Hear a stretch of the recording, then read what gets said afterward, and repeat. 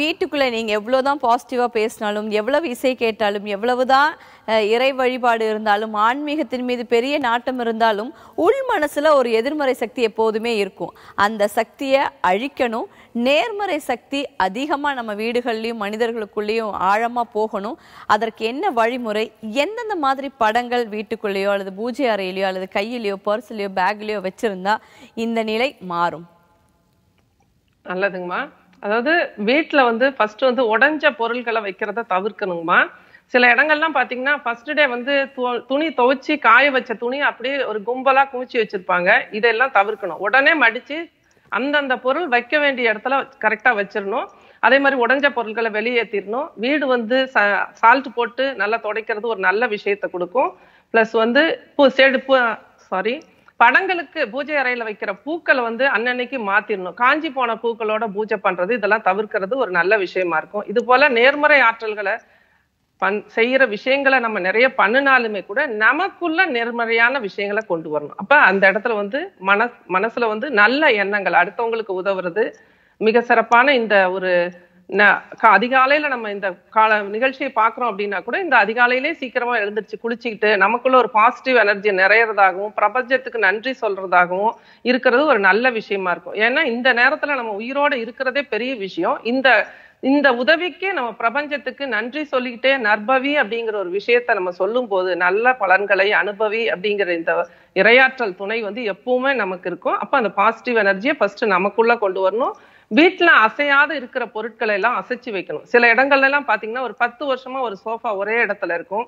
அது போலவே fridge washing machine இதெல்லாம் வந்து அந்த மூவ் பண்ணாமே அதே அப்படியே வச்சிருப்பாங்க. இதெல்லாம் அதெல்லாம் ரொம்ப தவறான விஷயம். ஏன்னா அந்த எனர்ஜி வந்து அந்த இடத்துல ஸ்டாக்னேட் ஆகி நிற்கும் அப்ப அந்த பொருட்களையும் மாதம் ஒரு முறையாவது சின்னதாக சின்னதா ஒரு பக்கத்திலேயே நகர்த்தி வைக்கிறது ஒரு நல்ல மாற்றத்தை கொடுக்கும். அந்த இடத்துல உள்ள நெகட்டிவ் எனர் நெகட்டிவ் எனர்ஜிஸ் எல்லாமே கிளியர் ஆக ஆரம்பிக்கும். இது போல பல விஷயங்கள் இருக்கு. ஒவ்வொரு நிகழ்ச்சியிலும் நம்ம ஒவ்வொன்றா சொல்லலாம். நேயர்கள் வந்து மிக மிக சிறப்பா இந்த விஷயங்கள் எல்லாம் பயன்படுத்தி வாழ்க்கையில் அடுத்த கட்ட வளர்ச்சிக்கு செல்ல மனதார வாழ்த்துகிறேன். நன்றி. நிச்சயமா நிறைய வீடுகள்ல இந்த நிகழ்ச்சி பார்த்துட்டு இருக்கும்போதே துணி மடிக்க ஆரம்பிச்சிருவாங்க. ஏன்னா வீடு முழுக்க துணி இருக்க இல்லங்கள் நிறைய இருக்கு. ஸோ அது ரொம்ப பயனுள்ள ஒரு விஷயம் கூடமா நம்ம கூட பேசுறதுக்கு நேயர்கள் இருக்காங்க. வணக்கம் நேரம் நல்ல நேரம். வணக்கம். வணக்கம். வணக்கம்மா. யார் எங்கேருந்து பேசுறீங்க?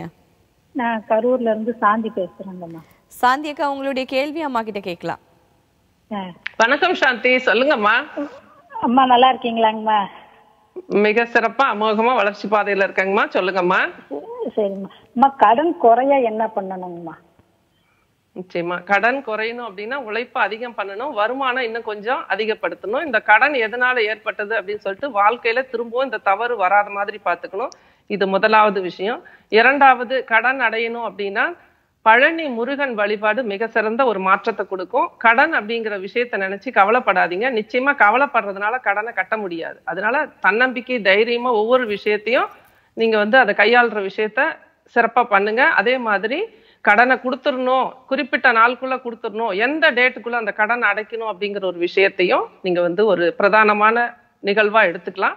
அது போலவே ஒவ்வொரு செவ்வாய் தோறும் குளிகை காலத்துல மதிய நேரத்துல ஒன்றரை டு மூணு அந்த மாதிரி வரும். கரெக்டா பாத்துக்குங்க கேலண்டர்ல பார்த்துட்டு அந்த டைம்ல வந்து உங்களுக்கு கடன் யாருக்கு கொடுக்கணுமோ அவங்கள நினைச்சு உங்களுக்கு என்ன அமௌண்ட் கொடுக்கணும்னு தோணுதோ நே- இப்போ ஒரு ஐநூறு ரூபாய் கொடுத்தா நிச்சயமா கடன் ஆயிரக்கணக்கு லட்சக்கணக்கில் இருக்கிற கடன்காரங்க வாங்க மாட்டாங்க. அப்ப அவங்கள நினைச்சு ஒரு சிகப்பு கலர் துணியில அந்த அமௌண்ட்டை போட்டு வைங்க. நிச்சயமா கடன் அடையக்கூடிய வாய்ப்பை இந்த பிரபஞ்சம் உங்களுக்கு கொடுக்குங்கம்மா. நன்றி வாழ்க வளமுடன். ரொம்ப நன்றிம்மா. அடுத்து நேயர் இருக்காங்க. வணக்கம் நேரம் நல்ல நேரம். வணக்கம்ங்க. வணக்கம். சரி. அம்மா இந்த கேள்வியோட சேர்த்து நான் இன்னொரு கேள்வி.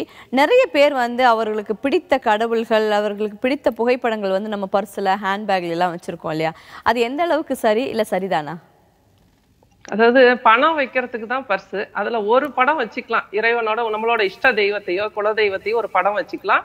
அது நிறைய காடுங்க நிறைய பழைய பில்லுங்க இதெல்லாம் வைக்கிறது ரொம்ப தவிர்க்க தவிர்க்க வேண்டிய ஒரு விஷயமா இருக்கும்.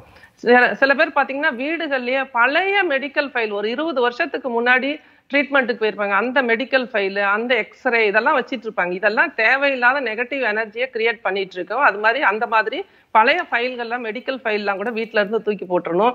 இது மாதிரி முன்னாடி நீங்க ஒரு கேள்வி கேட்டதுக்கு பதில் விட்டு போயிடுச்சு. அதாவது எந்தெந்த படங்களை வச்சுக்கலாம்னு சொல்லி கேட்டிருக்கீங்க.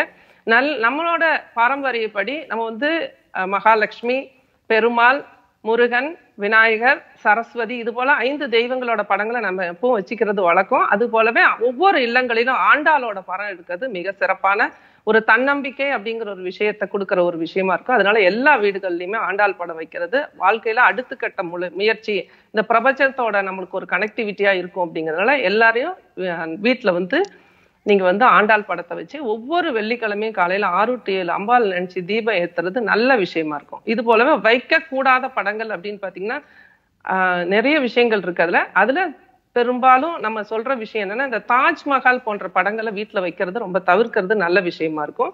அது போலவே செயற்கையான பூக்களை எப்பவுமே வீட்ல ஒரு அலங்காரத்துக்கு கூட வைக்கிறது தவிர்க்கிறது நல்ல நல்ல விஷயம். என்னன்னா உங்களால முடிஞ்சா உங்க வீட்டு மாடி தோட்டத்துல மாடி தோட்டம் கூட போட்டு இயற்கையான மலர்களை வைங்க. அப்போ உங்க வாழ்க்கையில இயற்கை உங்களுக்கு ஆஹ், எப்பவுமே கனெக்டிவிட்டியில இருக்கும். உங்களுக்கு நல்ல விஷயங்களை கொடுத்துட்டே இருக்கும். இந்த செயற்கையான விஷயங்கள் நம்ம எல்லாம் என்னென்ன பண்றோமோ அப்ப அது எல்லாமே நம்மள வாழ்க்கையில செயற்கையான விஷயங்களே கொடுக்குற விஷயமா இருக்கும். இது போல வந்து நல்ல ஒரு மனமாற்றத்தை கொடுக்கக்கூடிய நல்ல விஷயங்கள் நிறைய இந்த நிகழ்ச்சியில சொல்றோம். நேயர்கள் அனைவரும் இதை பயன்படுத்தி வாழ்க்கையில் அடுத்த கட்ட வளர்ச்சிக்கு செல்ல நான் வணங்கும் ஆண்டாள் நாச்சியாரை வணங்கி வாழ்த்துகிறேன். நன்றி. ரொம்ப நன்றிம்மா. நம்ம கூட பேசுறதுக்கு நேயர்கள் இருக்காங்க. வணக்கம் நேரம் நல்ல நேரம். வணக்கம் மேடம். வணக்கம்மா டிவி வால்யூமை கம்மி பண்ணிக்கோங்க. யார் எங்கேருந்து பேசுறீங்க? நான் திருவொற்றியூர்ல இருந்து பேசுறேன். சரிங்கம்மா. உங்க பேரு? மணிமேகலை. மணிமேகலைமா இன்னும் கொஞ்சம் சத்தமா பேசலாம். நீங்க அம்மா கிட்ட கேள்வி கேட்கலாம். அம்மா நான் வந்து உங்களோட தனிஷன் கிடைச்சது எனக்கு ரொம்ப நன்றி அம்மா. நர்பவி நர்பவி இயற்கைக்கு நன்றி. நன்றிங்கம்மா. சொல்லுங்க. ரொம்ப நன்றிம்மா. நான் வந்து என்ன சொல்றதுன்னு தெரியல. என் பையன் இருபத்தி நாலு வயசுல இறந்துட்டாமா சரிங்கம்மா.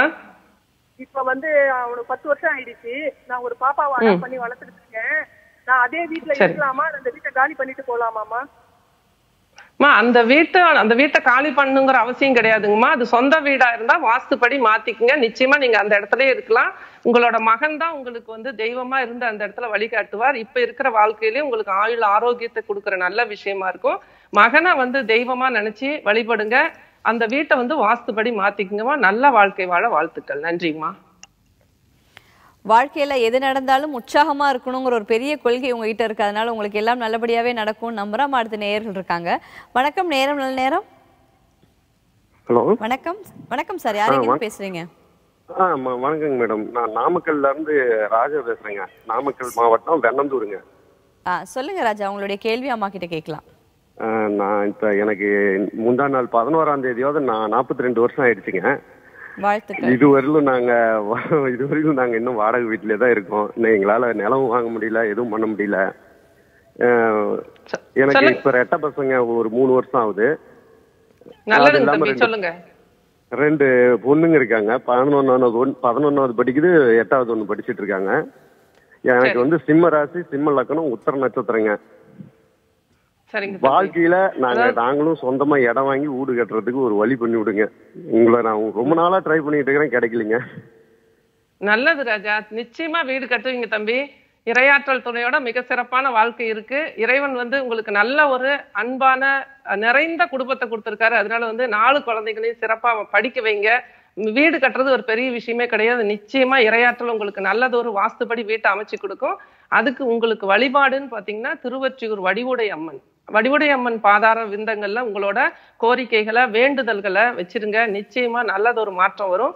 இன்னைக்கு செவ்வாய்க்கிழமை அன்னைக்கு இப்ப மதியம் ஒரு மணில இருந்து ரெண்டு மணிக்குள்ள ஒரு சிகப்பு துணியில ஒரு பதினோரு ரூபாய் எடுத்து அதை ஒரு முடிச்சு போட்டு திருவொற்றியூர் வடிவுடை அம்மனை நினைச்சு இந்த வீடு கட்டும் கட்டுற அமைப்பை எனக்கு கொடுங்க அப்படின்னு சொல்லி ஒரு பிரார்த்தனையோட முடிச்சு வைங்க. தொடர்ந்து ஒவ்வொரு செவ்வாய்க்கிழமையும் தீபம் ஏத்தி அம்பால வந்து பிரார்த்தனை பண்ணுங்க. நிச்சயமா நல்லதொரு வாஸ்துபடி அமை அமையிற வீடு உங்களுக்கு கிடைக்கிறதுக்கு உண்டான வாய்ப்பை இந்த இரையாற்றல் கொடுக்கும். நன்றி.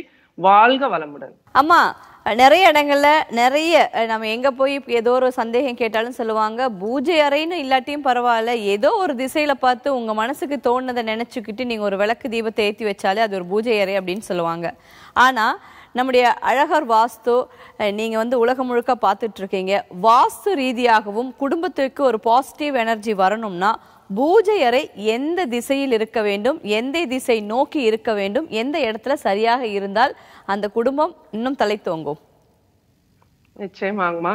அதாவது பூஜை அறை அப்படிங்கிறது வாஸ்துபடி அமைக்கணும் அப்படின்னா தென்கிழக்கு மிக சிறப்பான இடம். அதற்கு அடுத்தபடியாக வடமேற்கு பகுதி வீட்டோட வடமேற்கு பகுதியில அமைச்சுக்கிறதும் மிக சிறப்பான வளர்ச்சி பாதையில ஒவ்வொரு குடும்பத்தையும் கொண்டு போற ஒரு விஷயமா இருக்கும். இந்த இடத்துல வந்து நமக்கு வந்து பூஜை ரூம் அமைக்கிறதுக்கு வசதி இல்லை அப்படிங்கிற பட்சத்துல நம்மளோட கிச்சன்ல நம்ம வந்து பூஜை ஒரு ஷெல்ஃபை வந்து ரெடி பண்ணிக்கிறது ஒரு சால சிறந்த விஷயம். அதே மாதிரி படங்களை வந்து கிழக்கு நோக்கி வச்சுக்கலாம்.